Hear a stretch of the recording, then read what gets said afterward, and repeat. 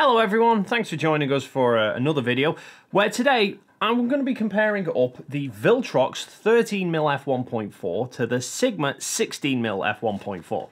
Now both of these are obviously fast primes, both are wide angle, and both are for APS-C. So if you're an APS-C shooter and you're torn between these options, or you're just bored with nothing better to do for the next 10 minutes, then this video is for you.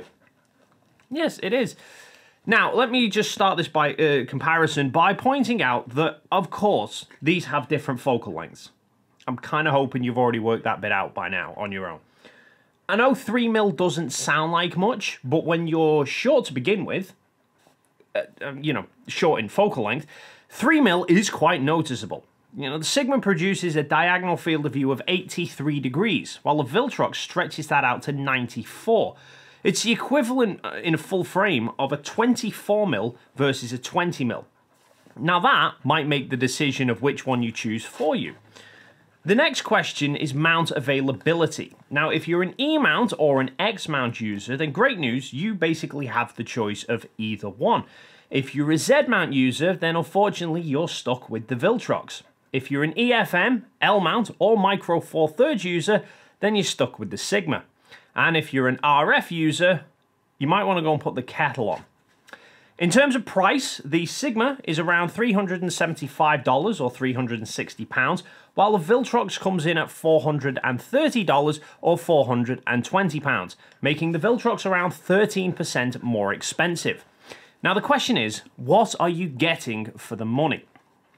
Both lenses are practically identical in size, even very similar in weight, with the Viltrox being only 15 grams heavier at 420 versus 405 of the Sigma. Both lenses have 67mm filter threads, and both are made with a mixture of metal and plastic in their construction. Although the Viltrox just looks more metally and arguably more premium looking. Now, both barrels are pretty much half filled with manual focus rings. The Sigma's focus ring is rubberized, which I personally prefer over the Viltrox's metal, plastic, I, I can't even tell what it is. Both turn fairly smoothly, although the Viltrox is more damped, but the Viltrox is, is linear in movement, while the Sigma's focusing speed will vary depending on how quickly you turn the ring, which I don't like. However, the focus ring is the only thing on Sigma's barrel, while the Viltrox has a dedicated declicked aperture ring, which you might love, you might hate.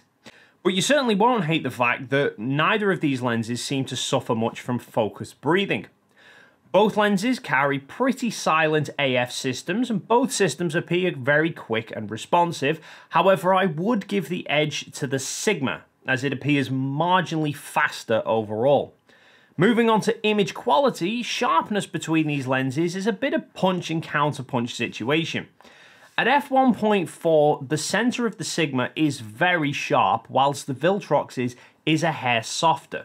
However, the Sigma sees a noticeable drop in sharpness into the corners, whereas the Viltrox holds onto the corners quite a bit better. Stopping down to F2, the Sigma sees a slight improvement across the frame, with the centre now being excellent, but the corners still lagging way behind, and they don't really start to come good until around F4 onwards. Whereas the Viltrox sees a big improvement in the centre at F2, which brings it to being very sharp right the way across the frame. So overall, I would have to give the Viltrox the overall win in sharpness. However, vignetting is marginally better controlled on the Sigma when you have in-camera corrections turned off. If you turn them on, the gap becomes huge because there are no in-camera corrections available for the Viltrox, at least not that I'm aware of at the time of me recording this. Flare isn't too bad on the Sigma, but it does appear slightly better controlled on the Viltrox, and it's a similar story with Coma for you astrophotography shooters. But chromatic aberration is slightly in Sigma's favour. Both have a hint of it wide open, but the Viltrox's green fringing looks a bit stronger. By f2 though, both lenses look great. So overall, whilst both lenses have their plus points, both are very capable, wide, fast primes. On balance, I would probably give the edge to the Viltrox. However, that obviously comes with the caveat of a 13% higher price tag and a focal length which some users might just find unusable. That's not to say the Sigma's a bad lens, far from it. And if 13mm is too wide for you, then you're not going to be disappointed with this lens. But personally, between the two, I'm leaning more towards the Viltrox. But let me know your thoughts in the comments down below. If either of these lenses do tickle your fancy, there are links in the description. And while you're down there, if you enjoyed this video or you found it helpful and you haven't already done so, then please consider hitting the like and subscribe button. And then hopefully, we'll see you in the next video.